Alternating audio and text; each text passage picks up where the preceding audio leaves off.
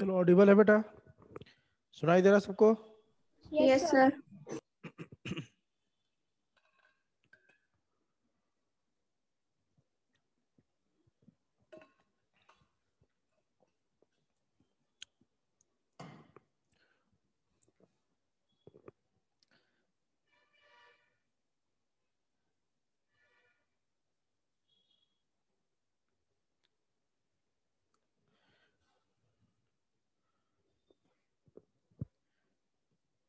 कोई new admission भी है जो पहला लेक्चर कर रहा है आज? सर मैं निष्ठा पटेल। निष्ठा ओके बेटा। वे सेंटर बेटा कौन सा सेंटर है आपका? मीन्स मणिनगर या कौन सा सेंटर मणिनगर। मणिनगर ना? ठीक है वही पूछ रहा हूँ बेटा। हम्म, चलो ठीक है। हाँ तो देखो हमने शुरुआत करा था सेल चैप्टर ठीक है? तो चलो न्यू एडमिशन है इसमें क्या करते हैं अपन? हल्का ही देखा था तो बेसिक को फिर से एक बार शुरू करके यहाँ से चलते हैं। ठीक है बेटा? जो वीडियो ऑन कर सकते हो कर लो सब। जो जो कर सकते हो वीडियो ऑन कर लो। चलो देखते हैं। तो हमने पहले देखा था सेल का डेफिनेशन ठीक है? कि सेल क्या बोलते हैं? किसको बोलते हैं बेटा अपन? It is the fundamental structural and functional unit ठीक है? फंडामेंटल स्ट्रक्चरल एंड फंक्शनल का मतलब क्या है? कि एक सेल को आप जानते हो कि पूरी बॉडी हमारी किससे बनी हुई है बेटा? सेल हाँ बेटा। सेल से। सेल से एग्जैक्टली exactly, है ना? तो पूरा बॉडी हमारा बना हुआ है सेल से ठीक है? अब आप जानते हो हमारे बॉडी में जितने भी काम हो रहे हैं जो भी काम हो रहा है सब कौन करता है हमारे बॉडी में? कौन करता है? सेल करता है। हमारे बॉडी में यही होता है ना कि जितने भी काम है सब कौन कर रहा है बेटा? सेल कर रहा है। क्लियर है? तो अब देखो सेल काम कब करेगा? सेल काम कब करेगा? जब जब वह पूरी तरह से बन गया होगा तब ना? जल्दी बताओ। यस सर है ना? तो यहाँ पे सेल का मतलब यही है बेटा। A cell is the basic structural functional unit of life मतलब एक सेल को फंक्शनल होने के लिए उसको पूरी तरह से पहले बनना होगा है ना? उसको बोलते हैं स्ट्रक्चरल पहली बात तो हो गया स्ट्रक्चर का मतलब आपको क्या बताया था मैंने? कि हमारी पूरी बॉडी किससे बना हुआ है? सेल से बना हुआ है। है ना? पहली बात यही थी कि हमारी पूरी बॉडी किससे बनी हुई है बेटा? सेल से। अब देखो तो इसलिए इसको बोला स्ट्रक्चरल दूसरा क्या मतलब था? कि मान लो सेल का सब कुछ बन गया और इसका पॉइंट वन परसेंट कुछ नहीं बना है। मतलब कि 99.9 परसेंट सेल बन चुका है। बस पॉइंट वन परसेंट कुछ बनना बाकी है। तो भी ये सेल फंक्शनल नहीं हो पाएगा। मतलब अगर इस सेल को फंक्शनल होना है काम करना है तो इसका स्ट्रक्चर हंड्रेड परसेंट क्या होना चाहिए? कंप्लीट होना चाहिए। क्लियर है बेटा? हाँ। अब आगे देखो। तो इसीलिए हमने सेल को बोला it is the fundamental structural and functional क्योंकि पूरा स्ट्रक्चर हमारा सेल से बना हुआ है इसलिए बोल दिया स्ट्रक्चरल पूरा हमारे बॉडी में काम कौन करता है? सेल करता है इसलिए बोल दिया फंक्शनल ठीक है बेटा? Yes. आगे बढ़े? हाँ। सर ये तो बेसिक आपका डेफिनेशन हो गया सेल का ठीक है? अब अपन आगे देखते हैं।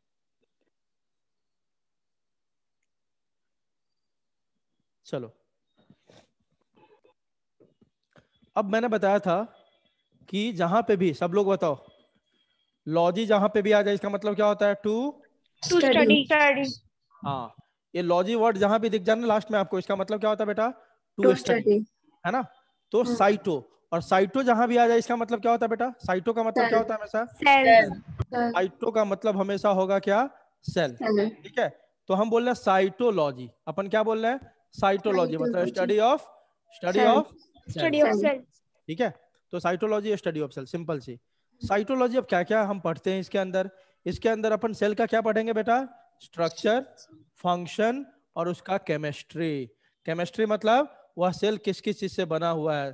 केमिस्ट्री मीन्स क्या हो गया बेटा? केमिकल कंपोजिशन मतलब आप जानते हो ना कि सेल आपके अंदर जो मॉलिक्यूल्स है कार्बन हाइड्रोजन ऑक्सीजन यही सबसे मिला के बना हुआ है है ना? तो अपन इसके अंदर क्या क्या पढ़ेंगे? सेल का स्ट्रक्चर कैसा है? दूसरा क्या पढ़ेंगे? फ़ंक्शन कैसा है उस सेल का क्या काम करता है हमारे बॉडी में? क्योंकि आप जानते हो हर सेल का काम अलग अलग है कि नहीं? किडनी का सेल अलग काम करेगा ब्रेन का सेल अलग काम करेगा है ना? हार्ट का सेल अलग काम करेगा सारा सेल अलग अलग काम करेगा कि नहीं करेगा? जल्दी बताओ। यस सर दूसरी बात आपको ये भी पता है कि सब सेल का स्ट्रक्चर अलग अलग होता है। अगर आरबीसी का देखोगे तो राउंड नज़र आएगा नर्व सेल देखोगे तो एलोंगेटेड नज़र आएगा तो सारे सेल का सेप भी अलग अलग है। है कि नहीं? तो अपन साइटोलॉजी में उन्हीं सब बातों को पढ़ते हैं। डिफरेंट स्ट्रक्चर फ़ंक्शन है ना? और केमिस्ट्री मतलब सेल किस किस से बना हुआ है? क्लियर है? बताओ। Yes, sir. निष्ठा बेटा समझ में आया? Yes, sir. हाँ। अच्छे से पढ़ो है ना? तुम्हारे हम्म, नाम तुम्हारे नाम की बच्ची एक थी इस बैच से पिछले बैच में ठीक है? अभी वो एमबीबीएस कर रही है। Yes, sir. निष्ठा नाम की थी है ना? और Yes. आपसे अभी दो साल पहले के बैच का बात बता रहा हूँ। वो अभी एमबीबीएस कर रही है। चलो ठीक है। साइटोलॉजी डील्स विद ये बता दिया मैंने। फादर ऑफ़ साइटोलॉजी मतलब सेल की डिस्कवरी किसने करा था? रॉबर्ट हुक ने। किसने डिस्कवरी किया था बेटा? रॉबर्ट हुक इसीलिए इनको क्या बोलते हैं अपन? Father of cytology. है ना? क्योंकि इन्होंने सेल की डिस्कवरी करी थी। सबसे पहले सेल को इन्होंने ही देखा था। सेल बायोलॉजी आप जब आओगे ना जब ट्वेल्थ पार कर जाओगे तो मैं तो चाहता हूँ कि सब लोग डॉक्टर बन जाओ। मान लो कि किसी को डॉक्टर नहीं बनना है एमबीबीएस नहीं करना है तो वो ऑप्शन चुनता है। तो उसमें से सारे सब्जेक्ट आपको मिलेंगे सेल बायोलॉजी मॉलिक्यूलर बायोलॉजी है ना? ये भी बायोलॉजी का एक ब्रांच है जिसमें हम स्पेशली किसके बारे में पढ़ते हैं? किसके बारे में? सेल के बारे में ठीक है? Study of cell in terms of structure physiology genetics evolution इन सब की स्टडी यहाँ पे करेंगे। अब आपको बताया था मैंने जेनेटिक्स क्या होता है? जेनेटिक्स मतलब उस सेल का क्रोमोजोम कंपोजिशन ठीक है? कैसा कैसा क्रोमोजोम है कितने नंबर ऑफ़ क्रोमोजोम्स है है ना? कितने डीएनए हैं उन सब के बारे में स्टडी करते हैं उसको जेनेटिक्स बोलते हैं। इवोल्यूशन भी आपको बताया था ये सारी बातें आपको बाद में पता चलेगा। जेनेटिक्स इवोल्यूशन अभी आप समझने का ट्राई करोगे तो पूरी तरह नहीं समझ पाओगे क्योंकि यह धीरे धीरे जैसे जैसे बेस आपका बनेगा ये पूरा का पूरा चैप्टर ही आपके ट्वेल्थ में है। पूरा यूनिट आपका दिया हुआ है क्या? ट्वेल्थ में जेनेटिक्स ये पूरा यूनिट ही है ट्वेल्थ में आपके है ना? उसी जेनेटिक्स में आपको तीन चैप्टर पढ़ने हैं। Principle of inheritance molecular basis और तीसरा चैप्टर उसी जेनेटिक्स में कौन है? इवोल्यूशन ये तीन चैप्टर आपको पढ़ने हैं। तो अभी बस इतना समझो जेनेटिक्स मतलब क्रोमोजोम डीएनए इन सब की स्टडी करेंगे, उसको जेनेटिक्स बोलते हैं। इवोल्यूशन का मतलब अभी समझ लो इवोल्यूशन क्या होता है? हमारे बॉडी में चेंजेज लेकिन वो चेंजेस कब? हज़ार साल, दो हज़ार साल में जो चेंजेज हुए हैं, उसको इवोल्यूशन बोलते हैं। जैसे आपने सुना होगा मज़ाक मज़ाक में बहुत लोग चिढ़ाने के लिए बोलता है, हमारे पूर्वज किसको बोला जाता है? बताओ एंसेस्टर ह्यूमन का एंसेस्टर किसको बोला जाता है? हम्म, बंदर। बंदर को। हाँ बोलता है ना? बंदर को बोला जाता है एग्जैक्टली exactly. एप वगैरह से ही ह्यूमन का मतलब ह्यूमन निकला है। तो एप में देखा होगा आपने टेल होता है लंबे लंबे होते हैं कि नहीं पूछ? जल्दी Yes, बताओ। ह्यूमन के हम्म। अंदर है क्या? नहीं। नहीं। कैसे कैसे हुआ? जैसे जैसे टाइम आपका बढ़ते गया सौ साल दो सौ साल पाँच सौ साल हज़ार साल दो हज़ार साल दस हज़ार साल धीरे धीरे वो टेल रिड्यूज होता गया होते गया और जो आप चिंपांजी को देखोगे एप को देखोगे झुक के चलता है। ऐसे चलता है ना? जल्दी बताओ। वो ऐसे चलता है। धीरे धीरे Yes. पोस्टर में क्या हुआ? टाइम के साथ इरेक्ट हो गया होते होते हो गए और बाद में क्या बन गया वो? क्या बन गया? Human being. तो इसको बोलते हैं इवोल्यूशन बेटा। आई बात समझ? बताओ। Yes, sir. हाँ तो इसको अपन इवोल्यूशन बोलते हैं। क्लियर है बेटा? यस सर हाँ। तो ये सब बातें आप बहुत बेहतरीन तरीके से सीखोगे चैप्टर आएगा तब। तो बस इतना समझो।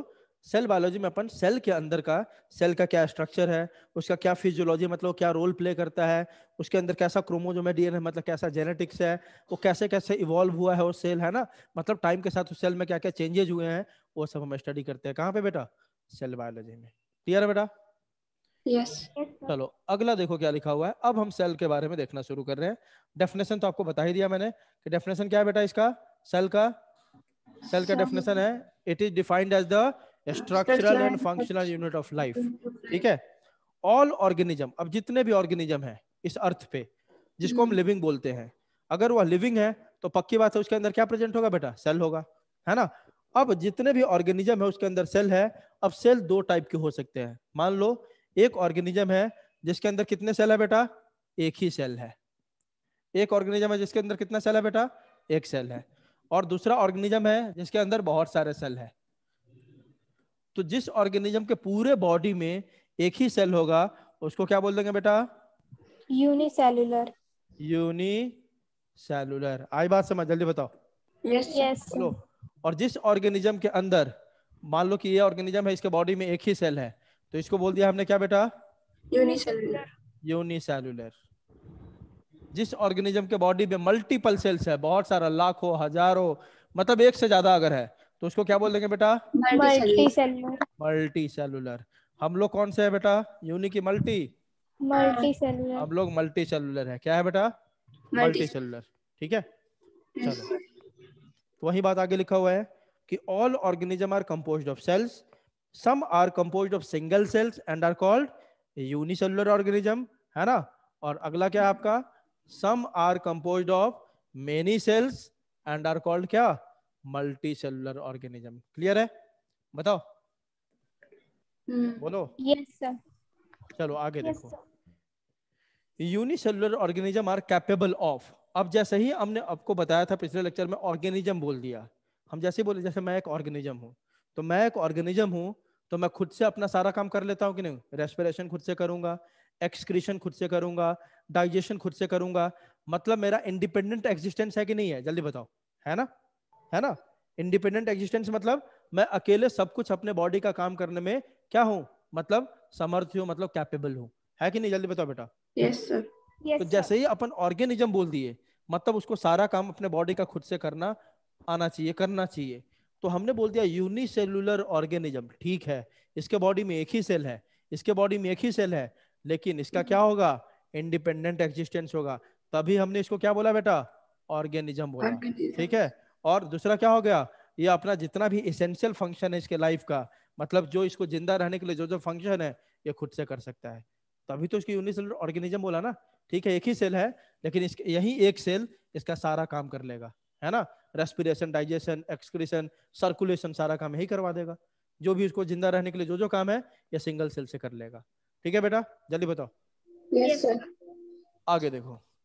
Anything less than a complete structure of a cell अभी मैंने आपको बताया कि अगर एक सेल का स्ट्रक्चर पॉइंट वन परसेंट भी कंप्लीट नहीं है पॉइंट वन परसेंट बोल रहा हूँ मैं तो बाकी पूरा बन चुका है पॉइंट वन परसेंट भी कंप्लीट नहीं है तो क्या वो फ़ंक्शन करेगा? क्या वो फ़ंक्शन करेगा? नहीं करेगा। तो यही बोल रहा है anything less than a complete structure of a cell does not ensure independent living अगर एक परसेंट भी कम है पॉइंट वन परसेंट भी कम है वह सेल खुद से सरवाइव नहीं कर पाएगा खुद से इंडिपेंडेंट लिविंग नहीं कर पाएगा। आई बात समझ बेटा जल्दी बताओ। हैंस सेल इज़ द फिर से वही इसीलिए सेल का डेफिनेशन फिर से निकल के आया। Hence cell is the fundamental structural and functional unit of all living organisms clear है बेटा? Yes, sir. चलो अब हमने देखा डिस्कवरी ऑफ़ सेल या हिस्ट्री ऑफ़ सेल है ना? कि सेल की डिस्कवरी कैसे हुई? सेल कैसे डिस्कवर हुआ? किसने इसको डिस्कवर करा? आज हम इतना सेल के बारे में पढ़ रहे हैं कि सेल में बहुत सारे ऑर्गेनल होते हैं माइटोकॉन्ड्रिया क्लोरोप्लास्ट न्यूक्लियस होता है साइटोप्लाज्म होता है सेल का सेल वॉल होता है सेल मेम्ब्रेन होता है है ना? तो ये सारी बातें किसी ने सबसे पहले देख के लिखा होगा तभी हम आज पढ़ रहे हैं ना? जल्दी बताओ। है कि नहीं? Yes, सर तो वही अपन हिस्ट्री देख रहे हैं या डिस्कवरी कि कैसे कैसे सेल की डिस्कवरी हुई।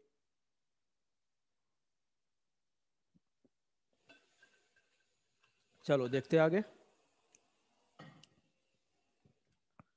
सेल इज़ डिस्कवर्ड बाय किसने डिस्कवरी किया था सेल का बेटा? Robert Hooke. रॉबर्ट हुक ने। कब किया था? 1665 में। सेल की डिस्कवरी कब हुई थी बेटा? 1665 में रॉबर्ट हुक ने किया था। ठीक है?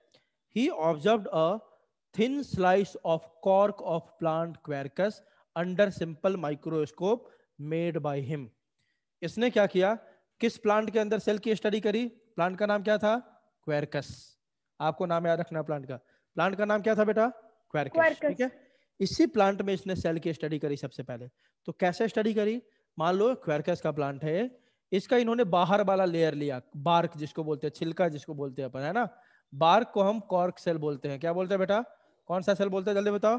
कॉर्क सेल जो बाहर जो आप पेड़ देखते हो ना सबसे बाहरी लेयर जो होता है उसका उसको बार्क जिसको बोलते हैं छिलका। उसी को लिया, उसको कॉर्क सेल बोलते हैं। पढ़ोगे भी, आप एक चैप्टर है आपका मतलब चौथा chapter anatomy of flowering plant है ना? एनाटॉमी ऑफ़ फ्लावरिंग प्लांट में सब बताऊँगा एक मिनट रुक जाओ बेटा।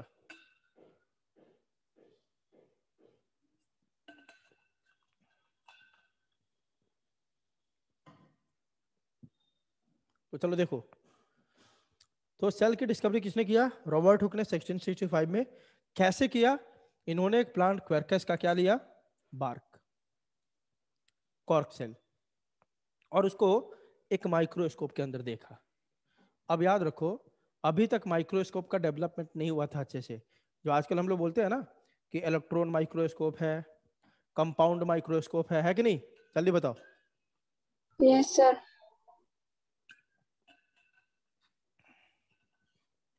उन सब माइक्रोस्कोप की डिस्कवरी उस समय नहीं हुई थी। इन्होंने क्या किया था? खुद से एक माइक्रोस्कोप बना लिया था। और उसी में इन्होंने क्या किया? सेल को लिया और ऐसा करके स्टडी किया। आपको बता दो, दिखाया था मैंने आपको माइक्रोस्कोप का, ये देखो। कुछ ऐसा होता है। यहाँ देखो, यही है। यहाँ पे ग्लास लाइट पे सेल लेते हैं, यहाँ पे प्लेस कर देते हैं और यहाँ से हम देखते हैं इसको अपने आँख से तो सेल का पूरा अंदर का स्ट्रक्चर दिखाई देता है। आई बेटा, बात समझ, जल्दी बताओ। यस सर तो इन्होंने माइक्रोस्कोप, ये सब तो अब डेवलप हो चुका है। इलेक्ट्रॉन माइक्रोस्कोप, कंपाउंड माइक्रोस्कोप, पहले सब नहीं था। तो उन्होंने खुद से ऐसा एक स्ट्रक्चर बना के उस बार्क के सेल को लिया, यहाँ पे रख दिया है ग्लास लाइट पे। ग्लास लाइट मतलब ग्लास पे लेते हैं, उस सेल को रख देते हैं और फिर ऊपर से ऑब्ज़र्व करते हैं तो सेल के अंदर का सब कुछ दिखता है। तो इन्होंने क्या किया? कॉर्क सेल को लिया और कॉर्क सेल को लेकर किसमें देखा? अपने द्वारा बनाए हुए माइक्रोस्कोप में। तो इनको क्या क्या दिखाई दिया? जब उन्होंने देखा तो। उन्होंने क्या देखा? He observed honeycomb like structures with no living matter inside, and he called it cellulae, which later came to be known as cell. जब इन्होंने सेल के अंदर देखना शुरू किया तो उनको ऐसा कुछ स्ट्रक्चर दिखाई दिया, बेटा। देखो तो ये मधुमक्खी का छाता जैसा लग रहा है कि नहीं? जल्दी बताओ। है ना? हनी कॉम लाइक स्ट्रक्चर उनको ऐसा स्ट्रक्चर नज़र आया, जब उन्होंने सेल को देखा अपने माइक्रोस्कोप में तो। अब इसमें आप देख रहे होंगे तो पहला क्या बात बोला भाई? कि मेरे को कैसा स्ट्रक्चर दिखाई दे रहा है? कैसा स्ट्रक्चर दिखाई दे रहा है? बताओ। हनी कॉम्ब लाइक स्ट्रक्चर दिखाई दे रहा है। तो पहली बात बोली कि भाई मुझे मेरे को हनी कॉम्ब लाइक स्ट्रक्चर दिखाई दे रहा है। दूसरी बात इनको क्या नज़र आई? कि इस हनी कॉम्ब स्ट्रक्चर में छोटे छोटे बॉक्स जैसे स्ट्रक्चर दिख रहे हैं। बॉक्स जैसा है कि नहीं? देखो ना आप ध्यान से देखो। एक दो ये छोटा छोटा बॉक्स आपको लग रहा है कि नहीं है सब? ऐसे ऐसे बहुत सारे ऐसे ऐसे नहीं है? है कि नहीं? दिखाई दे रहा है बेटा? यस सर ऐसे ऐसे छोटे छोटे इसको पूरा बॉक्स दिखाई दिया। तो इसको क्या बोला है कि हाँ भाई ये है ना? कैसा स्ट्रक्चर है? हनी कॉम्प्लेक स्ट्रक्चर है? और हनी कॉम्प्लेक स्ट्रक्चर में क्या बोला कि बहुत छोटे छोटे कंपार्टमेंट नज़र आ रहे हैं। ऐसा देखो हनी कॉम ऐसा ही होता है ना? ऐसा। ऐसे मधुमक्खी का छाता है। इसमें इनको छोटे छोटे ऐसे बॉक्स दिखाई दिए। इसको इन्होंने बॉक्स बोला या क्या बोला? कंपार्टमेंट बोला ठीक है? कंपार्टमेंट किसको बोलते हैं? ये मान लो पूरा सेल है। इसको आप छोटे छोटे पार्ट में बांट दो। इसमें कितने कंपार्टमेंट बन गए? कितने? चार। है ना? तो वही कंपार्टमेंट मतलब इन्होंने देखा तो बहुत सारा कंपार्टमेंट इसे छोटा छोटा नज़र आया। इन सारे एक बॉक्स या कंपार्टमेंट को इन्होंने एक नाम दिया।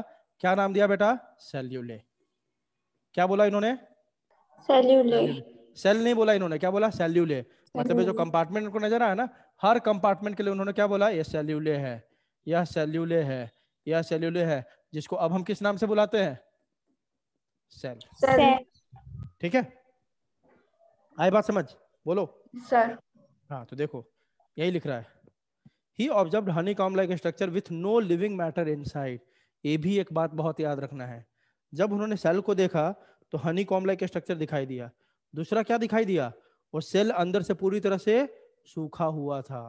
आपको सबको पता होगा ये चीज़ कि सेल के अंदर क्या प्रेजेंट होता है बेटा? साइटोप्लाज्म होता है कि नहीं? यस सर यस सर ये देखो ये सेल है इसका न्यूक्लियस है। न्यूक्लियस में जो फ्लूइड होता है उसको क्या बोलते हैं बेटा?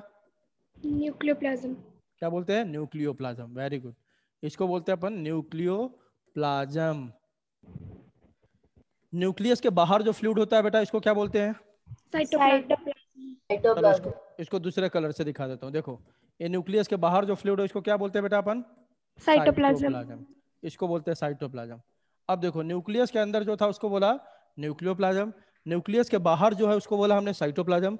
अब दोनों को मिला दो तो इसी को क्या बोलते हैं? प्रोटोप्लाज्म। प्रोटोप्लाज्म। क्या बोलते हैं बेटा? प्रोटोप्लाज्म। है ना? तो आप ऐसे समझ सकते हो क्या? आप ऐसे बोल सकते हो क्या कि इसमें पूरे में अगर पूरे सेल के लिक्विड को देखो हम इसको मिला दो और इसको मिला दो। मतलब न्यूक्लियोप्लाज्म प्लस लाइटोप्लाज्म दोनों को मिला के हमने क्या बोला बेटा? प्रोटोप्लाज्म। मतलब क्या हुआ? पूरे सेल के लिक्विड को मिला दे तो अपन प्रोटोप्लाज्म बोल सकते हैं क्या? जल्दी बताओ। बोलो। यस सर तो पूरे सेल के लिक्विड को हमने प्रोटोप्लाज्म बोला। न्यूक्लियस के अंदर बस जो प्रेजेंट है उसको न्यूक्लियोप्लाज्म बोला। और न्यूक्लियस के बाहर जो प्रेजेंट है उसको साइटोप्लाज्म बोला। लेकिन पूरे सेल को मिला दिया मतलब न्यूक्लियोप्लाज्म प्लस साइटोप्लाज्म दोनों को मिला दिया तो क्या बोला हमने? प्रोटोप्लाज्म क्लियर है? क्लियर है बेटा? जल्दी बोलो। यस सर हाँ। तो इन्होंने क्या देखा? जो सेल देखा ना इसने रॉबर्ट हुक ने तो देखा अंदर में साइटोप्लाज्म प्रोटोप्लाज्म कुछ है ही नहीं। है ना? इसके अंदर प्रोटोप्लाज्म ही नहीं है सूखा हुआ है। तो ऐसे सेल जहाँ पे प्रोटोप्लाज्म अंदर सूख चुका है वैसे सेल को क्या बोलते हैं बेटा अपन? डेड सेल ऐसा सेल जिसके अंदर प्रोटोप्लाज्म ड्राई अप हो चुका है अवेलेबल ही नहीं है वैसे सेल को क्या बोलते हैं बेटा? डेड सेल और प्रोटोप्लाज्म हमेशा याद रखना प्रोटोप्लाज्म एक सेल का कैसा मैटर है? लिविंग मैटर कैसा मैटर है बेटा ये? लिविंग मैटर क्यों. क्योंकि इसी के अंदर सारा रिएक्शन हो रहा है तब हम ज़िंदा है। प्रोटोप्लाज्म में ये सारा ऑर्गेनल होता है ना? ये माइटोकॉन्ड्रिया की बॉडी सब तो इसी में तैर रहा है। है कि नहीं बेटा? जल्दी बताओ। बोलो। Yes, sir. हाँ तो प्रोटोप्लाज्म को लिविंग मैटर बोलते हैं लिख लो आप। ठीक है? तो क्योंकि इसके अंदर लिविंग मैटर प्रेजेंट नहीं है मतलब प्रोटोप्लाज्म प्रेजेंट नहीं है तो इस सेल को हम क्या बोलेंगे? डेड सेल इसका मतलब उसने जो क्यूरकस प्लांट देखा था उसका कॉर्क सेल देखा था ये कॉर्क सेल कैसा सेल है? डेड सेल है कि लिविंग सेल है? डेड सेल है। Dead, sir. डेड सेल है। ठीक है बेटा? आई बात समझ? तो इसीलिए क्वेश्चन आता है कि रॉबर्ट हुक ने डेड सेल का डिस्कवरी किया था कि लिविंग सेल का किया था? क्या बोलोगे? Dead cell. Sir. Dead cell का। ठीक है? ठीक है बेटा? Yes, sir. तो देखो he observe honeycomb like structure with no living matter inside मतलब वो डेड सेल था और उसी को क्या बोल दिया? सेल्यूले बोल दिया। आगे देखो। This honeycomb like structure consisted of a thick wall enclosing box like compartments अभी बताया ना इसको क्या नज़र? आया कि बहुत सारे छोटे छोटे कंपार्टमेंट नज़र आया और सबका थिक वॉल था ऐसे ऐसे। सबका थिक वॉल ये हर कंपार्टमेंट के लिए कौन सा वर्ड यूज़ किया? कौन सा वर्ड यूज़ किया? कंपार्टमेंट या सेल्यूले ठीक है? और इसी को बाद में हम क्या बोलने लगे बेटा? सेल क्लियर है? Yes, तो वही लिख रहा है देखो। This honeycomb like structure consisted of a thick wall enclosing box like compartments for which he coined the term cellule for the first time. अब आप क्लियर बता सकते हो क्योंकि जो सेल हो देखा उसमें बिल्कुल कोई लिविंग मैटर नहीं था तो आप बोल सकते हो कि उसने कैसा सेल का डिस्कवरी किया? कैसे सेल का? डेड सेल का डिस्कवरी किया। क्लियर है? क्लियर है? चलो आगे देखते हैं। अब देखो इन्होंने जो पूरा डिस्कवरी किया तो डिस्कवरी किया तो कहीं तो लिखेगा नहीं इसके बारे में कि हमने ये खोज किया खोज करा। जल्दी बताओ। तो उसने Yes, क्या किया? खुद की एक बुक लिख दी और उस बुक में ही सारा ये बातें लिख दिया कि मैंने क्वेरकस को देखा उसके अंदर कोई लिविंग मैटर नहीं था ये जो भी बात हम पढ़ रहे हैं ना सब उन्होंने इस बुक में लिखा था। उस बुक का नाम क्या बेटा? माइक्रोग्राफिया तो माइक्रोग्राफिया एक बुक लिखा था किसने? रॉबर्ट हुक ने जिसमें पूरे डिटेल दिया था अपने डिस्कवरी के बारे में। तो पूछता है कि रॉबर्ट हुक ने किस बुक को लिखा था? नाम बताइए तो। क्या बोलोगे? Micrographia. माइक्रोग्राफिया एग्जैक्टली ठीक है? नोट आपको पहले ही बता दिया protoplasm is the living part of a cell in which all other organelles are surviving याद रखने का। जो भी सेल है ना ये मान लो कि ऐसे है। इसमें ये साइटोप्लाज्म है प्रोटोप्लाज्म है। जितना माइटोकॉन्ड्रिया है क्लोरोप्लास्ट गोल्गी बॉडीज लाइसोजोम जितने सेल ऑर्गेनल है सब इसके अंदर ही होता है बेटा। किसके अंदर? साइटोप्लाज्म के अंदर तैर रहा होता है ठीक है? क्लियर है? चलो आगे देखते हैं। तो हाँ बेटा बताओ। ये जो बुक थी माइक्रोग्राफिया वो कौन से ईयर में लिखी थी उन्होंने? सेम एग्जैक्टली इसी इसी टाइम पे लिखा था इन्होंने। इस बुक का देखो ईयर वगैरह आपको इतना याद करने की ज़रूरत नहीं बेटा ठीक है? जहाँ पे मैं बोलूँगा ईयर याद करने के लिए वो याद करो ठीक है? ऐसा अगर याद करने जाओगे ईयर तो नहीं याद कर पाओगे आप। Okay. जैसे यह आपको इम्पोर्टेंट है याद रखना क्या? कि कब उसने सेल की डिस्कवरी करी थी तो उसको याद करो। जहाँ जहाँ ज़रूरी होगा ना ईयर देना मैं खुद दे दूँगा ठीक है बेटा? वैसे बुक इन्होंने Yes. इसके इसके डिस्कवरी के तीन चार साल बाद लिखा था ठीक है? 1665 के बाद ठीक है बेटा? हाँ। चलो देखो। ये आपको डायग्राम बता दिया मैंने। रॉबर्ट हुक यही है ठीक है? इन्होंने डिस्कवर किया था सेल को और कैसा नज़र आया था सेल उनको? हानी कॉम्ब लाइक ठीक है? तो सबसे पहला क्वेश्चन हो गया कि रॉबर्ट हुक ने डेड सेल का डिस्कवरी किया था। अब सबसे पहले लिविंग सेल का किसने डिस्कवर किया था? लिविंग सेल मतलब जिसके अंदर प्रोटोप्लाज्म है। उस सेल को क्या बोल देंगे बेटा? लिविंग सेल तो उनका डिस्कवरी किया था उन साइंटिस्ट का नाम था एंटन वॉन लिवेनहॉक क्या नाम था उनका? एंटन एंटन वॉन लिवेनहॉक है ना? पूरा नाम याद रखने की ज़रूरत नहीं है। इतना आपको याद रखना है। क्या? लिवेनहॉक क्या याद रखोगे आप? लिवेनहॉक ठीक है?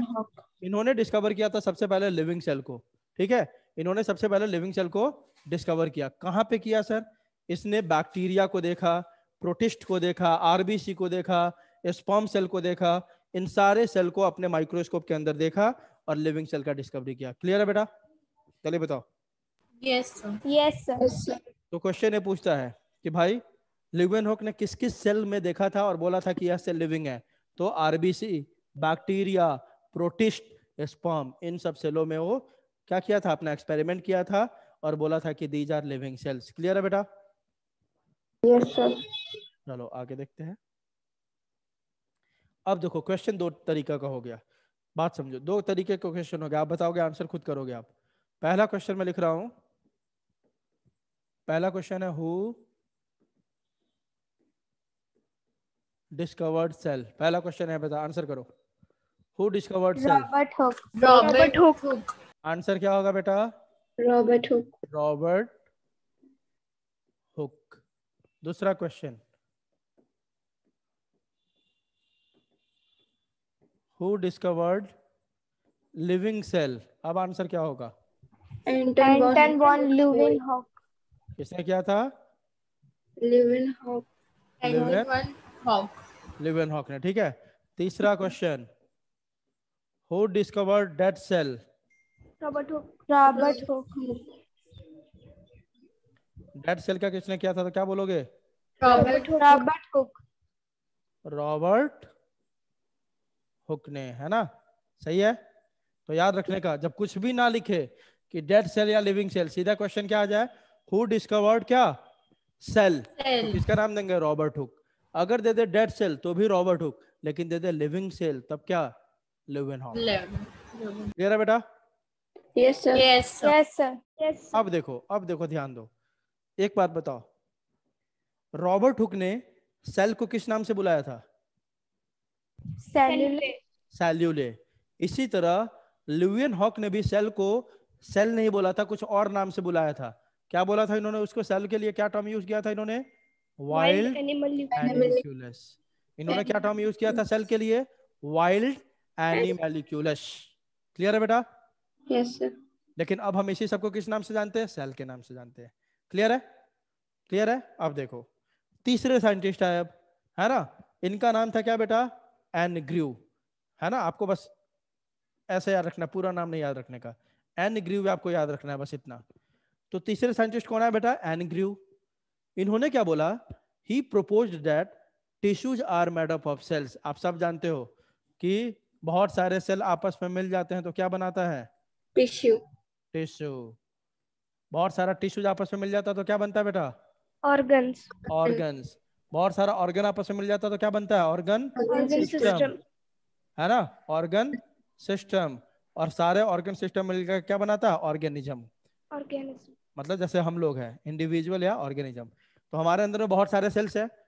ग्रुप ऑफ़ सेल्स मतलब सेल बहुत सारे सेल्स जब एक साथ आ जाते हैं तो जो क्या बोलते हैं बेटा? Tissue Tissue. बहुत सारे टिश्यू एक साथ बन जाते हैं तो क्या बोलते हैं? ऑर्गन जैसे आई एक ऑर्गन है आपका किडनी एक ऑर्गन है हार्ट एक ऑर्गन है. बहुत सारा ऑर्गन एक साथ मिल जाता है तो क्या बोलते हैं? ऑर्गन सिस्टम है ना? और सारे ऑर्गन सिस्टम मिल जाते तो क्या बोलते बोलते हैं अपन? ऑर्गेनिज्म जैसे हम लोग एक ऑर्गेनिज्म है जिसके अंदर बहुत सारे ऑर्गन सिस्टम है देखो ना?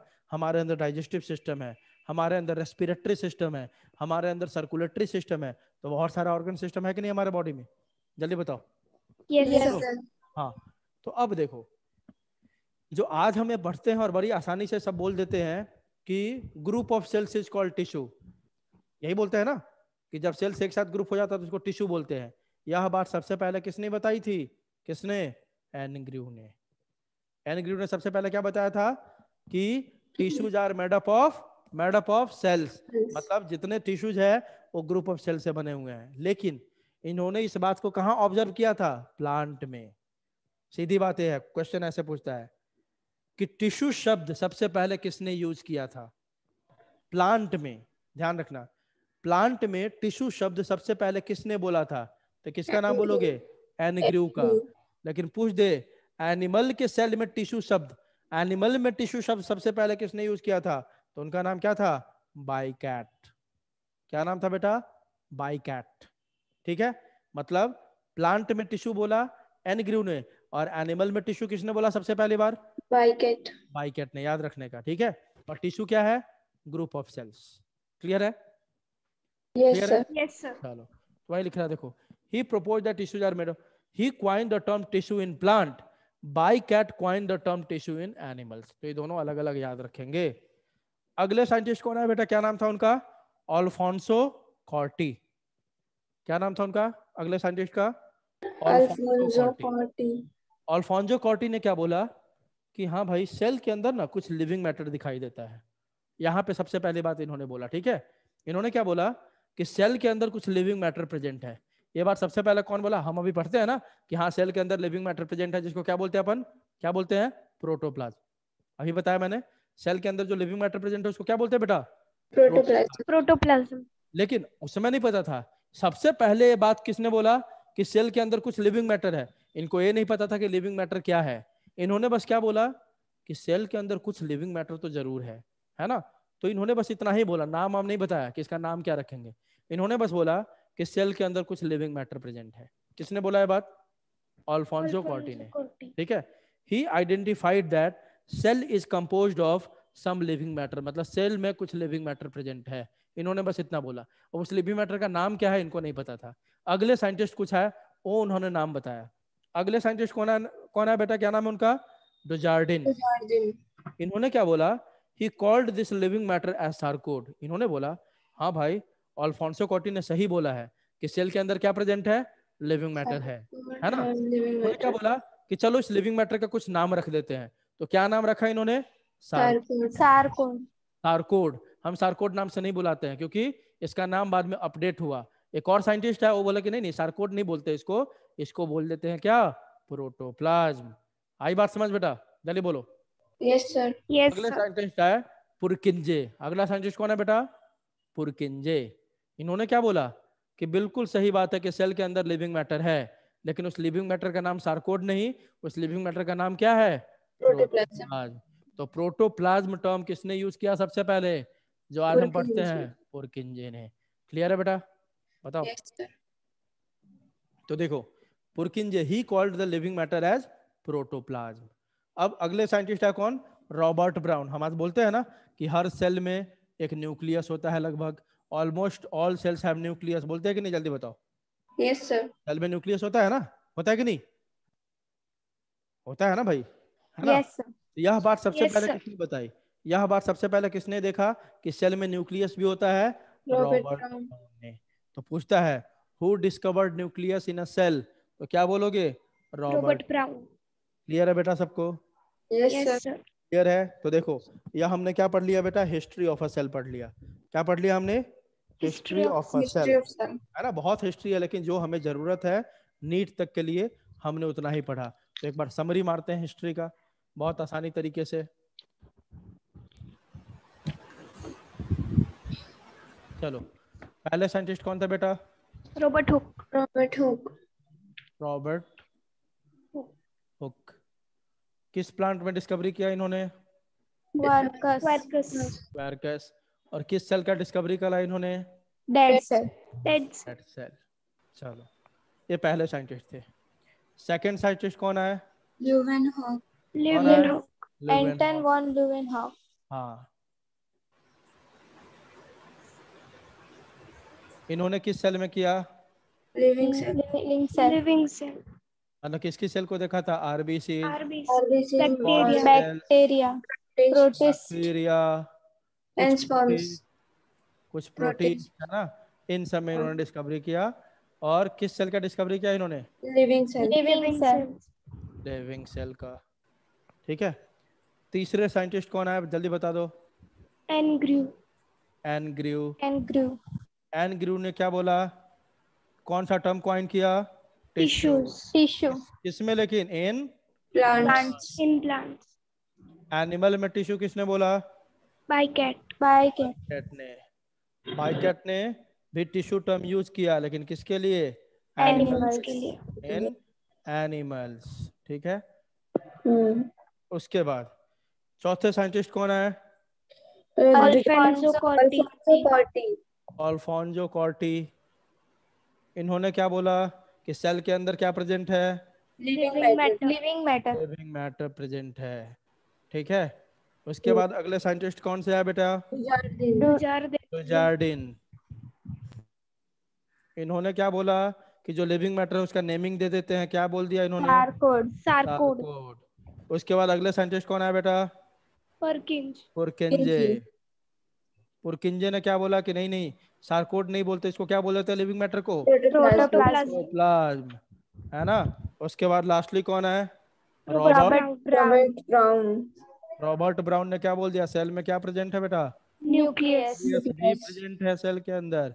तो इन्होंने डिस्कवरी कर दिया सेल में। किस चीज़ का? न्यूक्लियस इसका क्लियर है बेटा? यस सर सबको एकदम बेहतरीन तरीके से समझ में आया? बताओ। यस सर ठीक है चलो।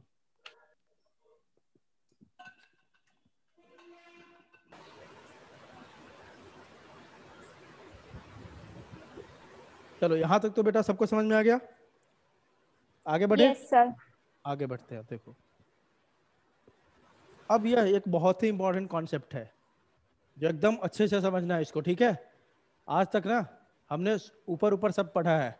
बच्चों को इसी में कंफ्यूजन होता है साइटोप्लाज्म कब बोले प्रोटोप्लाज्म कब बोले न्यूक्लियोप्लाज्म कब बोले प्रोटोप्लास्ट कब बोले है ना?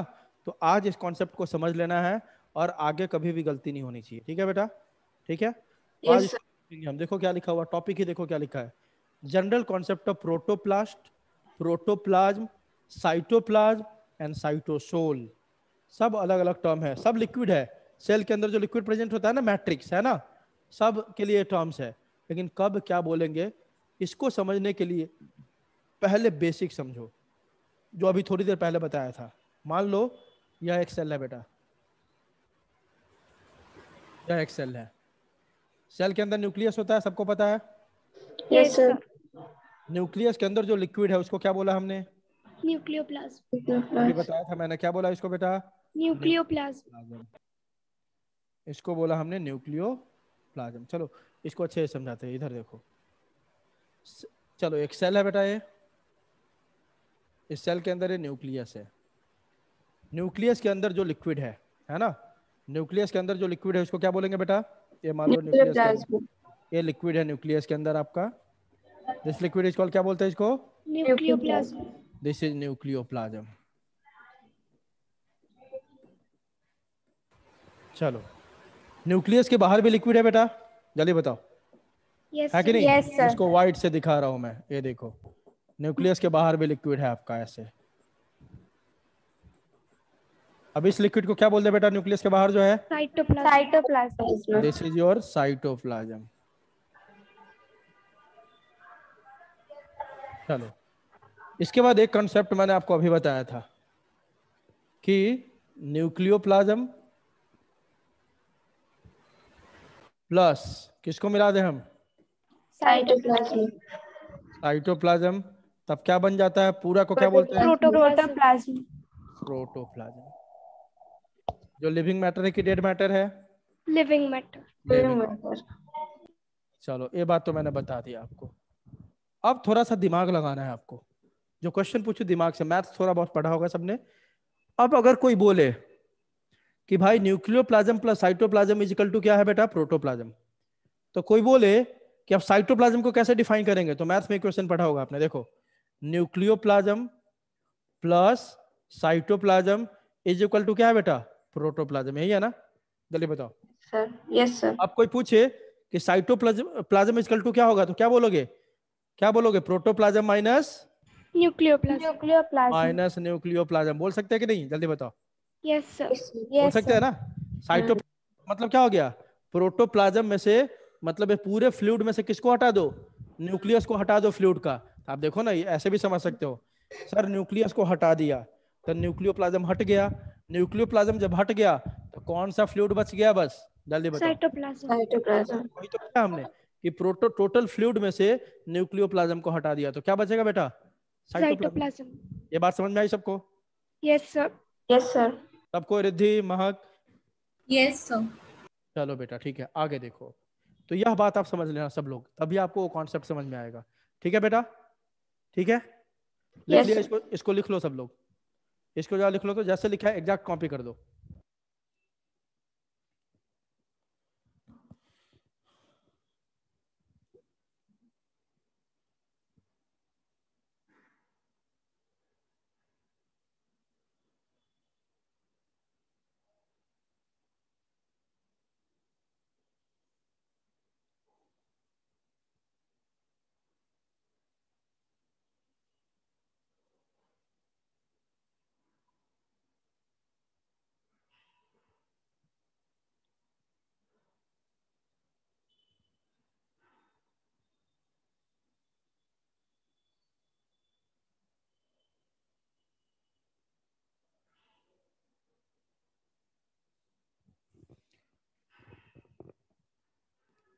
सबका हो जाए तो बता देना जब हो जाए आप लोगों का तो।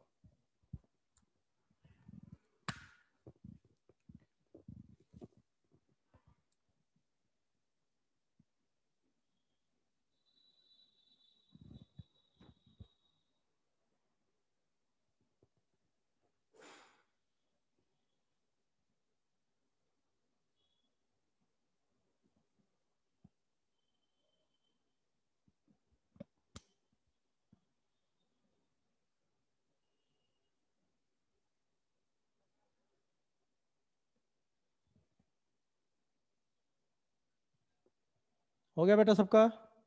Yes, sir. Yes, sir. सबने लिख लिया? sir. चलो। Yes.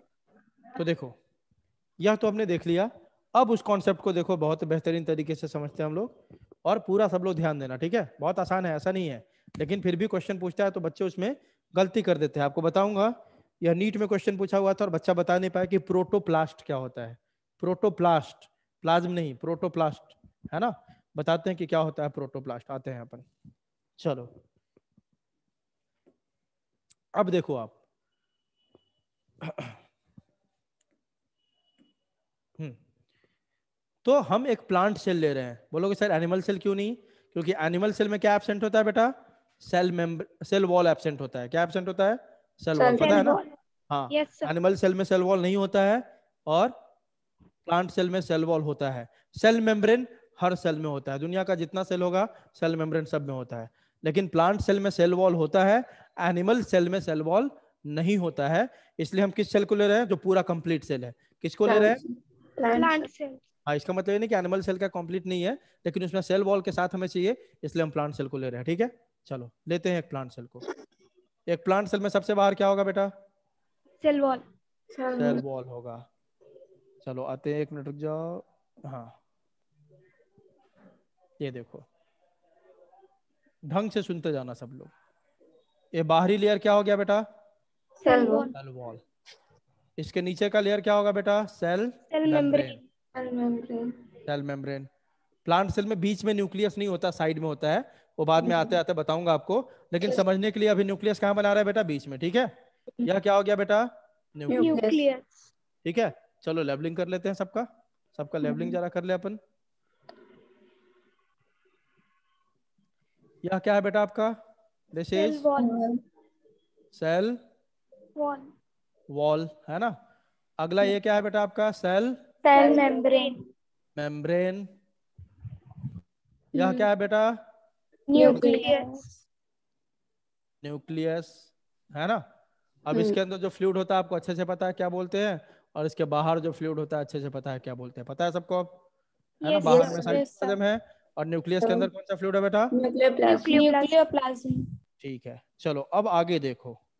कहानी अब शुरू हो रही है आपकी धीरे धीरे हम्म, हाँ चलो। अब अपन क्या करें? सबसे पहला स्टेप हम किसको हटा रहे हैं बेटा? किसको हटा दे? सेल वॉल को। किसको हटा देना है बेटा? Cell wall. Cell wall cell आप ढंग से उस डायग्राम को देखो आंसर करते जाना। सेल वॉल को हटाएँगे अच्छा पहले ये बताओ सबसे बाहरी लेयर अभी कौन है सबसे बाहरी बाउंड्री अगर बोले तो सेल वॉल है कि सेल मेम्ब्रेन है Cell wall. Cell wall. लेकिन अगर सेल वॉल को हटा दोगे तब सबसे बाहरी मेम्ब्रेन कौन हो जाएगा. ये बात समझ में आई बेटा देखो ना ये सबसे बाहरी है अभी ये सबसे बाहरी लेयर है जब इसको आप हटा दोगे तो सबसे बाहरी लेयर ये हो जाएगा कि नहीं सेल मेम्ब्रेन sir. Yes, है ना? तो चलो हमने सेल वॉल को हटा दिया किसको हटा दिया बेटा wall. wall. चलो हटा देते हैं सेल वॉल को इसको हटा दिया हमने. अब जो स्ट्रक्चर बच गया पूरा इसको हम बोलते हैं प्रोटोप्लास्ट क्या बोलते हैं? जल्दी बताओ। Proto Protoplast. Protoplast. क्या बोलेंगे? जल्दी बताओ। प्रोटोप्लास्ट अब इस पूरे स्ट्रक्चर को अपन क्या बोलेंगे बेटा? प्रोटोप्लास्ट ये बात सबको समझ में आ गई? मतलब आप ऐसे मतलब ऐसे डिफाइन कर सकते हैं क्या? Cell without. Cell wall. Is called Protoplast. बोल सकते हैं इसको? जल्दी बताओ। Yes, sir. ये आपका प्रोटोप्लास्ट तो एक कॉन्सेप्ट तो आपका क्लियर हो गया कि प्रोटोप्लास्ट किसको बोलते हैं। क्लियर है बेटा सबको? Yes, sir. Yes, अब दूसरा कॉन्सेप्ट समझते हैं। ठीक है सर यही पहला लिखा हुआ है कि प्लांट सेल में से सबसे पहले किसको रिमूव कर दिया हमने बेटा? किसको रिमूव कर दिया. सेल वॉल को जैसे ही रिमूव किया तब जो स्ट्रक्चर बचा उसको क्या बोला? प्रोटोप्लास्ट लिविंग मैटर है। अब देखो। अब अगला कौन स्ट्रक्चर है? सबसे बाहरी लेयर कौन है अभी बेटा? सेल मेम्ब्रेन सेल मेम्ब्रेन अब इस सेल मेम्ब्रेन को भी निकाल देते हैं। इसको हटाते हैं आप? जल्दी बताओ। सेल मेम्ब्रेन है ना? चलो निकालते हैं सेल मेम्ब्रेन सेल मेम्ब्रेन को जैसे ही आप निकालोगे ठीक है? निकालने के बाद ध्यान दो निकालने के बाद यह वाला कौन सा फ्लूड है? जल्दी बताओ साइटोप्लाज्म साइटोप्लाज्म इसके अंदर में कौन सा फ्लूड है बेटा? प्रोटोप्लाज्म सॉरी सॉरी न्यूक्लियोप्लाज्म ये कौन सा फ्लूइड है बेटा? न्यूक्लियोप्लाज्म न्यूक्लियोप्लाज्म है ना? ध्यान हम्म। देते रहो सब लोग। इसके अंदर कौन सा फ्लूइड है? न्यूक्लियोप्लाज्म ठीक है? हाँ। यहाँ है आपका न्यूक्लियोप्लाज्म मतलब अपन ये बोल सकते हैं कि दोनों को मिला के अभी क्या कौन सा फ्लूड है? प्रोटोप्लाज्म प्रोटोप्लाज्म तो जैसे ही आप सेल मेम्ब्रेन को हटा दोगे तब यही पूरा स्ट्रक्चर बच जाएगा ना? साइटोप्लाज्म प्लस न्यूक्लियोप्लाज्म जल्दी बताओ। यस सर तो बोल सकते हैं कि क्या बच जाएगा? प्रोटोप्लाज्म। बोल सकते हैं? तो चलो अब अगला किसको हटा रहे बेटा अपन? Cell membrane. सेल मेम्ब्रेन को हटा दिया। जैसे ही सेल मेम्ब्रेन को हटा तो क्या बच गया देखो? Cytoplasm plus cytoplasm plus nucleoplasm. बच गया कि नहीं? जल्दी बताओ।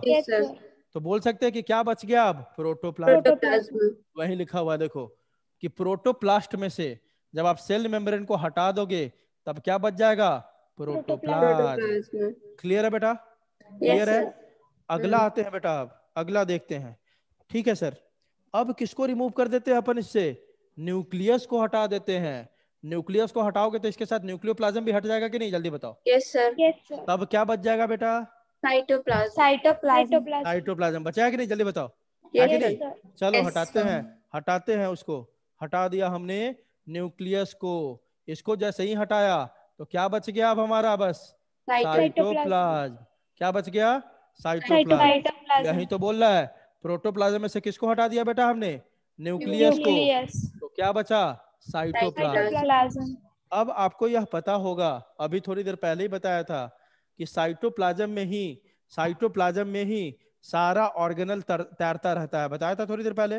यस Yes, साइटोप्लाज्म है ये साइटोप्लाज्म में ही सारा ऑर्गेनल तैरता रहता है। माइटोकॉन्ड्रिया जो भी ऑर्गेनल हमारे सेल के अंदर ऑर्गेनल किसको बोलते हैं? वही mitochondria Golgi bodies endoplasmic reticulum जो है ना हमारे बॉडी के अंदर है ना? ऑर्गेनल बोलते हैं। तो सारा ऑर्गेनल कहाँ तैरते रहता है बेटा? साइटोप्लाज्म साइटोप्लाज्म तो मान लेते हैं यहाँ पे ये सब ऑर्गेनल तैर रहा है इसके अंदर। किसके अंदर? साइटोप्लाज्म के अंदर। अब इन सारे ऑर्गेनल को यहाँ से हटा दो सबको निकाल दो साइटोप्लाज्म में से। तब केवल हम्म। लिक्विड बच गया कि नहीं? यस यस सर सर है ना? सर जब आप साइटोप्लाज्म में से सारे ऑर्गेनल को भी निकाल दो तब जो खाली लिक्विड बच जाता है उसको बोलते हैं अपन क्या? साइटोसोल साइटोसोल साइटोसोल क्लियर है बेटा? Yes yes. यस सर तो आसान है कि नहीं? बताओ। हम्म। यस है सर ना? क्या किया? प्लांट सेल से सेल वॉल हटा दिया। प्रोटोप्लास्ट उसमें से सेल मेम्ब्रेन हटा दिया प्रोटोप्लाज उसमें से अगला हटा दिया न्यूक्लियस मतलब न्यूक्लियस को हटा दिया न्यूक्लियस को हटाया तो क्या हट गया बेटा? न्यूक्लियोप्लाज्म भी हट गया है ना? और न्यूक्लियोप्लाज्म जब हट गया तो बचा साइटोप्लाज्म उसमें से भी सारा ऑर्गेनल निकाल दो सर तो क्या बचा? Cytosol cytosol. प्लाज्मा क्लियर है बेटा? Yes sir. यस अब आपका आपका काम क्या है देखो होमवर्क क्या है सब लोग। आप जाओगे जैसे इस वीडियो में बताया ना मैंने ये तो लिखा हुआ है ये नोट्स तो आपको मिल जाएगा है ना? आज इस नोट्स को मैं आपको सेंड Yes, करूँगा। sir. आज क्योंकि उस दिन नहीं सेंड किया क्योंकि एक ही पेज दो पेज पढ़ाया तो, तो क्या सेंड करूँ ठीक है? आज थोड़ा सा पंद्रह बीस पेज का नोट्स आपके पास जाएगा। देखो इसको आपको मैंने यहाँ पे तो लिखा हुआ है लेकिन डायग्राम में जैसे जैसे मैंने करके बताया ना उसको घर पे कर लोगे। कैसे बोलोगे सर आपने तो इरेज कर दिया ऐसे ऐसे करके हम कैसे करेंगे? कर पाएँगे ना? पहला डायग्राम क्या बनाओगे? पूरा सेल वॉल के साथ। ऐसे करके बनाओगे ठीक है? जो पहले बनाया था सबसे शुरू में मैंने। वह पहला डायग्राम हो गया आपका। अगले में क्या बनाओगे? सेल वॉल हटा के बनाओगे बस है ना? तो इसको क्या बोल देंगे? प्रोटोप्लास्ट। उसके अगले में किसको हटा दोगे? सेल मेम्ब्रेन को भी हटा देना। ऐसे करके बना सकते हैं ना? जल्दी बताओ। बोलो बेटा। यस सर यस सर हाँ तब आपको ये पूरा रियलाइजेशन रहेगा। दिमाग में बैठा रहेगा ये बात ठीक है? क्लियर है बेटा? यस सर हाँ। चलो पानी पी लेते फिर आगे बढ़ते हैं।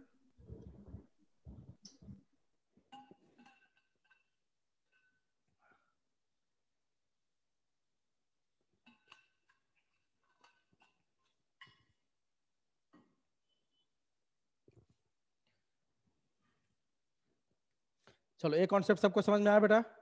Yes, sir. अब देखो सेल एंड इंट्रोडक्शन अब अपन धीरे धीरे अभी तक क्या बताया था? आपने देखा था? रॉबर्ट हुक हाँ सर उसने खुद का माइक्रोस्कोप बना के देखा था सब कुछ. लिवन हॉक उसने भी खुद का माइक्रोस्कोप बना के देखा था. मतलब अभी तक जो इलेक्ट्रॉन माइक्रोस्कोप था जो माइक्रोस्कोप जो अभी मार्केट में मिलता है है ना? उन सब का डिस्कवरी नहीं हुआ था. तो सेल के बारे में स्टडी हुई थी लेकिन पूरा कंप्लीट स्टडी नहीं हुआ था.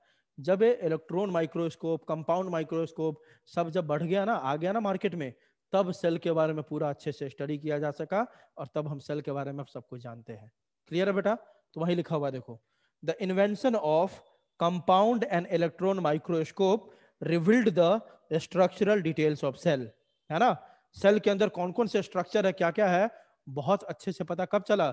जब किसका इन्वेंशन हो गया? Compound and electron On microscope microscopes. Clear है बेटा? Sir. Yes. Yes, sir.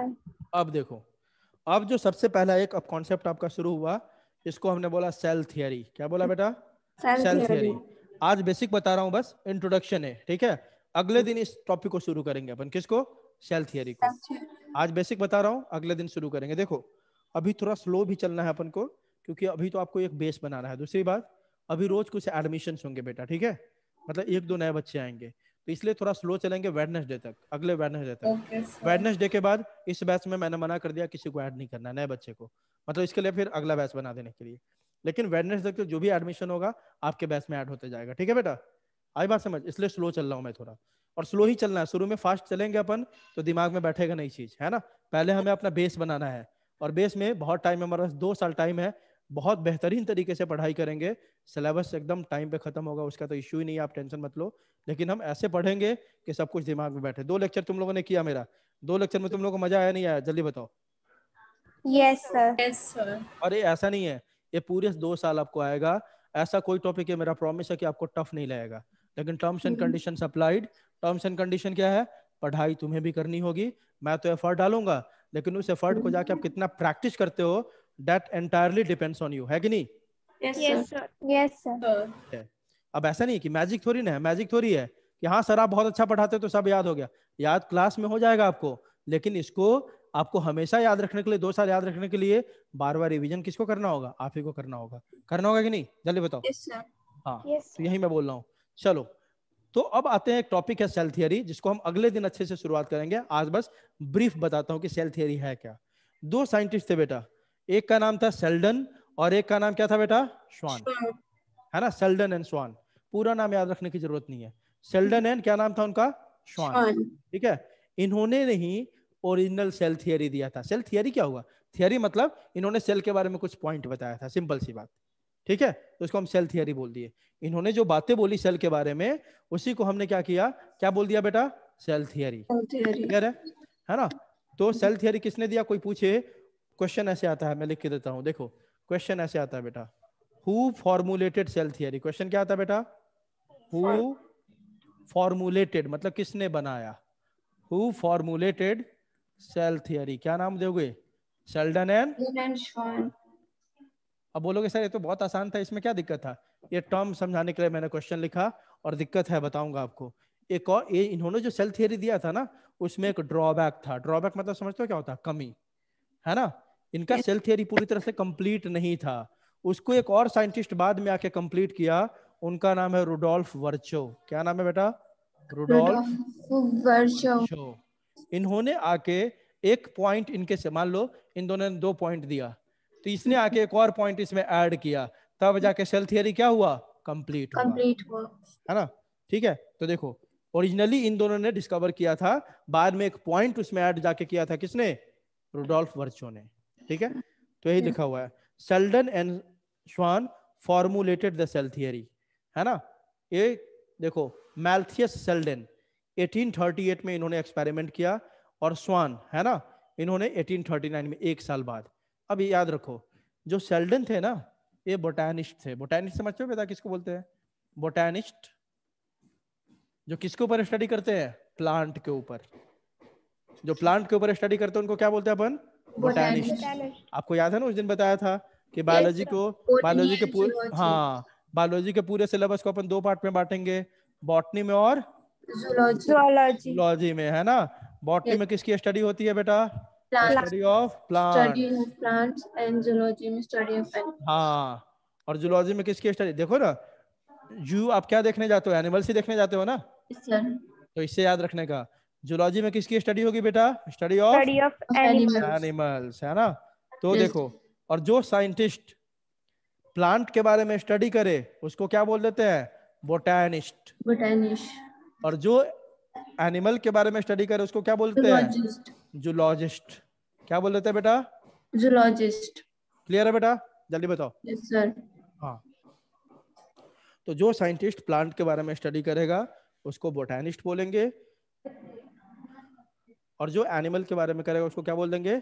Zoologist तो हमने अभी सिल्डन एंड स्वान का नाम लिया ना?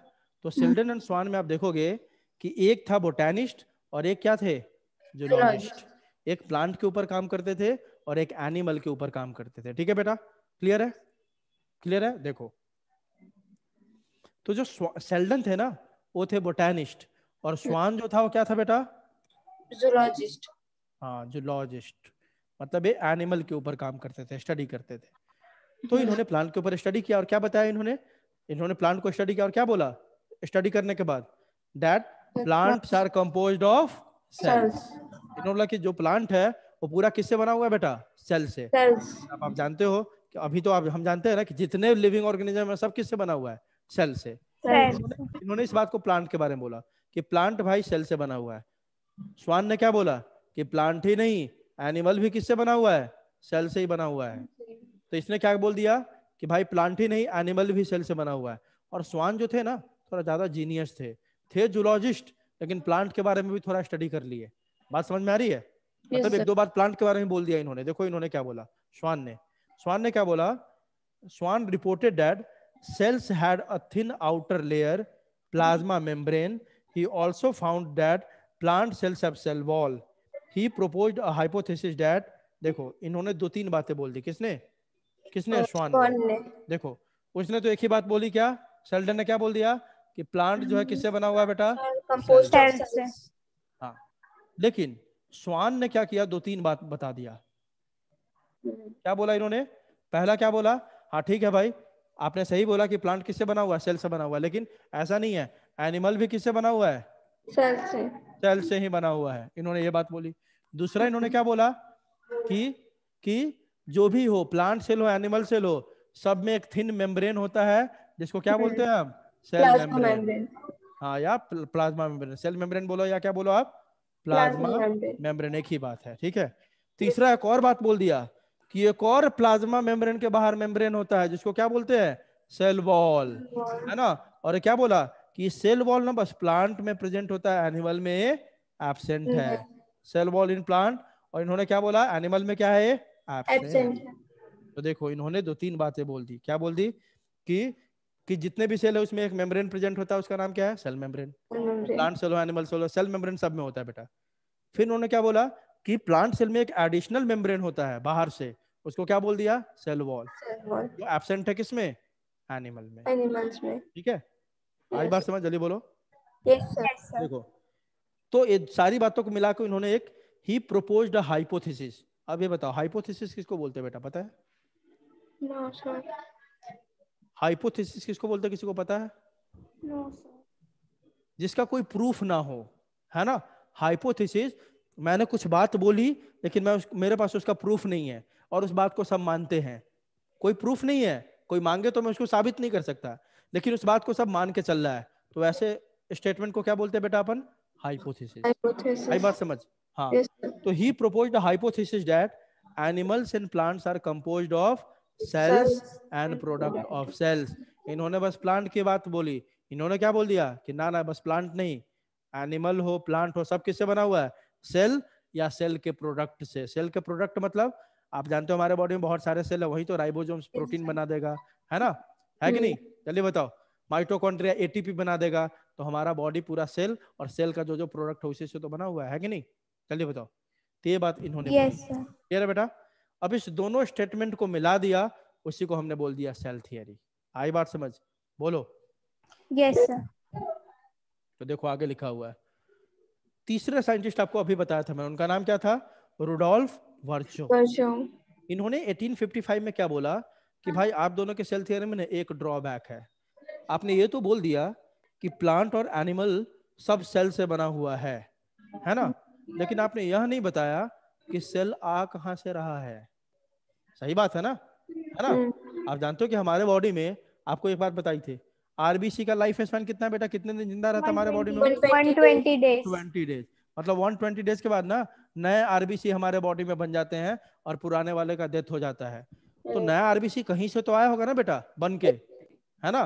तो इन्होंने बोला कि भाई आपने तो बोल दिया कि पूरा एनिमल और प्लांट सेल सेल से बना हुआ है लेकिन सेल अराइज कहाँ से होता है आता कहाँ से है यह तो आपने बताया ही नहीं। तो इस बात को किसने बताया बेटा? रुडोल्फ. उन्होंने क्या बोला? Explain that cells divided and new cells are formed from pre-existing cells. जो सेल हमारे बॉडी में पहले से प्रेजेंट है वही डिवाइड कर करके क्या बनाता है बेटा? नया सेल बनाता है। यही होता है ना? हमारे Yes. बॉडी में ऐसा Yes, थोड़ी है कि आरबीसी खत्म हो गया तो बाहर से खरीद के बॉडी में डाल देते हैं। ऐसा होता है क्या? No, नहीं नहीं। No, हमारे बॉडी में पहले से जो स्टेम सेल्स जो प्रेजेंट है पहले से वही डिवाइड कर करके न्यू आरबीसी बनाता रहता है ठीक है? तो ये बात किसने बोल दी? रुडोल्फ वर्चो ने। Rudolf भाई. जो नया सेल है ना वह कहाँ से बनता है? हमारे बॉडी में जो प्री एग्जिस्टिंग सेल है पहले से जो सेल एग्जिस्ट कर रहा है वही डिवाइड करता है और न्यू न्यू सेल बनाता है। ठीक है बेटा? Yes. उन्होंने इसको अपने भाषा में बोला था। उन्होंने इसको क्या बोला था? ऑमनिस सेलुले ई सेलुला इन्होंने अपने भाषा में बोला था। इसका मतलब इंग्लिश में होता है कि new cells are found from pre existing cell तो क्वेश्चन पूछ लेता है ऑमनिस सेलुला ए सेलुला किसने बोला था? क्या बोलोगे? क्या बोलोगे? किसने बोला था. रॉल्फ वर्चो ने। ठीक है? इसका मतलब ये हुआ कि ओरिजिनल सेल थ्योरी को इन्होंने क्या किया? क्या किया? मॉडिफाई किया एक पॉइंट उसमें ऐड कर दिया। अब जो सेल थियरी है उसको हम ऐसे बोलते हैं। All living organism are compose of cells and product of cell and all cells arise from pre existing cell तो तीनों स्टेटमेंट आ गया कि नहीं बेटा? देखो पहला स्टेटमेंट क्या था?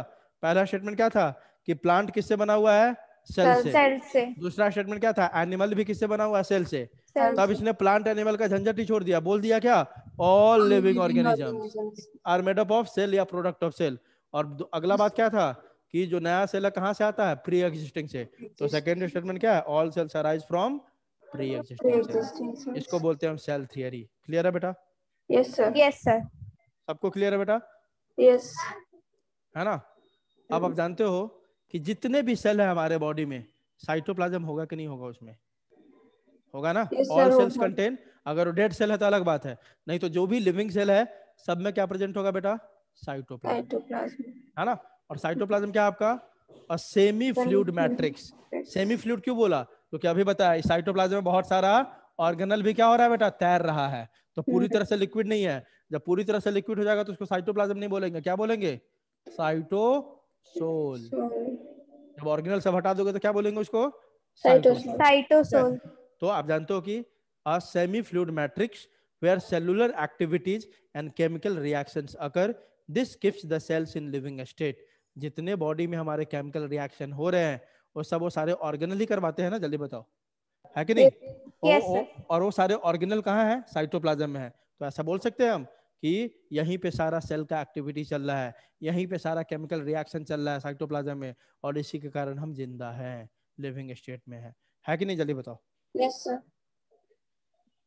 क्लियर है बेटा? Yes. चलो तो इतनी बात तो सबको समझ में आई. सेल थियरी सेल थियरी अपन हम फिर से देखेंगे अगले में है ना? बता तो दिया आपको यही है सेल थियरी लेकिन यहीं से हम शुरुआत करेंगे अगले लेक्चर में सेल थियरी में। Yes, अब एक बात एक बात जानते हो आप राइबोजोम्स राइबोजोम का नाम सुना है? Yes, sir. Yes, sir. Yes, sir. Ribosome क्या करता है बेटा हमारे बॉडी में? प्रोटीन बनाता है याद रखना। राइबोजोम को क्या बोलते हैं अपन? राइबोजोम हमारे बॉडी में क्या करता है बेटा? प्रोटीन प्रोटीन बनाने में हेल्प करता है। हेल्प्स इन प्रोटीन सिंथेसिस ठीक है? आई बात समझ? Hmm. प्रोटीन बनाने में हेल्प करता है। अब आपको बता दूँ दो टाइप के सेल होते हैं ये भी बात सबको पता होगा। एक हम्म। होता है यूकैरियोटिक सेल और एक प्रोकैरियोटिक और एक होता है प्रोकैरियोटिक सेल बात पता है सबको? यस सर एक होता है यूकैरियोटिक सेल और एक होता है बेटा आपको प्रोकैरियोटिक सेल याद रखने का कुछ इसमें समझना नहीं है। Hmm. यूकैरियोटिक सेल और प्रोकैरियोटिक प्रोकैरियोटिक सेल में एक ही आता है दूसरा कोई आता ही नहीं है। कौन आता है इसमें? बैक्टीरिया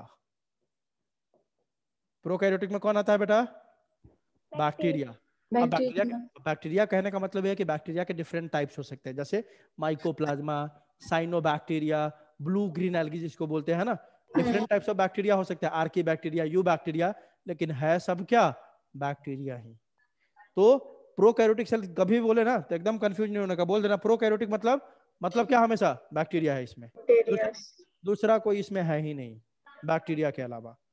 यूकैरियोटिक मतलब बैक्टीरिया के अलावा जो भी लिविंग ऑर्गेनिज्म है सब किसमें आ गया? यूकैरियोटिक में। आई बेटा समझ? यस सर है ना? तो ये दो टाइप के भी सेल हम पढ़ेंगे प्रोकैरियोटिक एंड यूकैरियोटिक सेल तो यही मैं बता रहा था जो राइबोसोम दोनों में अलग अलग होता है। है ना? प्रोकैरियोटिक में थोड़ा अलग होता है और यूकैरियोटिक में थोड़ा अलग होता है। क्लियर है बेटा? यस सर चलो अब दो मिनट टाइम है आपके पास। कोई डाउट है आज का लेक्चर का? या कोई दूसरी बात है जो आपको पूछना है कि कैसे क्या करना है? तो आप पूछ सकते हो।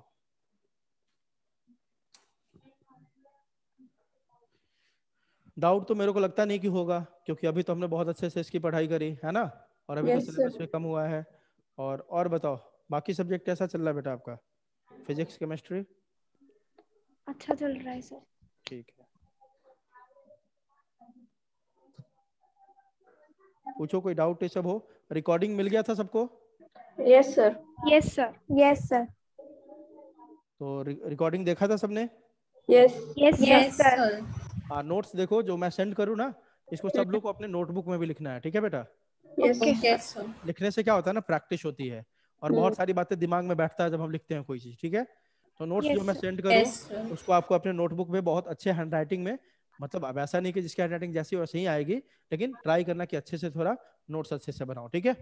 यस सब हाँ ऐसे नोट्स तो आपको दूँगा ही ये भी रखना और अपने नोट्स बनाना भी आप ठीक है बेटा? यस सर हाँ और अच्छे से पढ़ो मज़ा आएगा पढ़ने में। ऑफलाइन शुरू हो ऑनलाइन शुरू हो ऑनलाइन भी तो क्लास जैसे ही हो जाता है। हो जाता है कि नहीं है क्लास जैसा?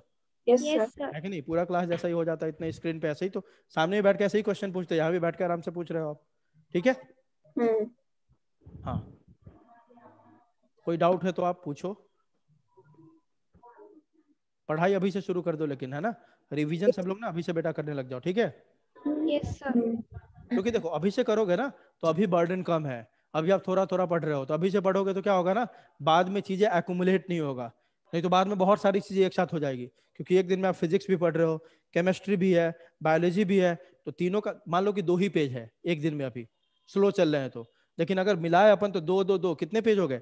छह पेज हो गए ना वो है ना? यस इसलिए अभी से पढ़ाई शुरू करो और आपको रिकॉर्डिंग तो शाम तक मिल ही जाता है फिर मिल जाएगा आज और आज आपको नोट्स भी मिल जाएगा ठीक है? जहाँ तक पढ़ाई हुई है।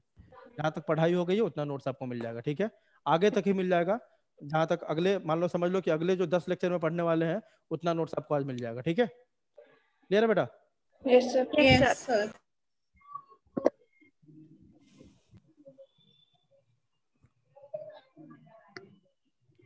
को- हाँ हाँ एक और बात बताना था सुनो सुनो। जितने भी क्लास में हो ना सबके पास मेरा नंबर है बेटा।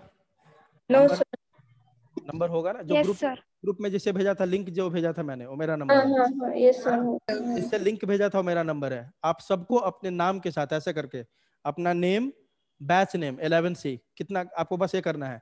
जैसे नेम है प्रिया प्रियानी है ना? तो लिख देना है Priyani hello hello sir Priyani 11 C batch इतना लिख के मेरे को सबको जो जो क्लास में है ग्रीष्मा है निष्ठा है है ना? रिद्धि है विश्वा है सब लोग आपको क्या करना है? अपना नेम और बैच नेम लिख के भेज देना है। क्योंकि नोट्स में ग्रुप नोट्स में ग्रुप में सेंड नहीं करता नोट्स में पर्सनल सेंड करता हूँ ठीक है बेटा? यस सर ओके है हाँ तो आप सब लोग जो नहीं करोगे उसको नोट्स नहीं मिल पाएगा। पहले बताओ। रिकॉर्डिंग तो ग्रुप में सेंड करता हूँ नोट्स सबको इंडिविजुअल सेंड करता हूँ मैं। तो सब लोग जो जो है इस क्लास में मेरे को अपना बैच नाम लिखना ज़रूर मतलब भूलना मत क्योंकि बहुत सारे बच्चे के मैसेज आते हैं है ना? मैं कंफ्यूज हो जाऊँगा तो बैच नेम ज़रूर लिख देना। Name plus. बैच नेम आपको जो जो भेजेगा मेरे को मैसेज उसको नोट्स मिल जाएगा जो नहीं भेजेगा नहीं मिलेगा बेटा ठीक है? क्लियर है? चलो बेटा ठीक है लेक्चर एंड करते हैं। हम्म। चलो bye bye thank you sir welcome बेटा। चलो बाय बाय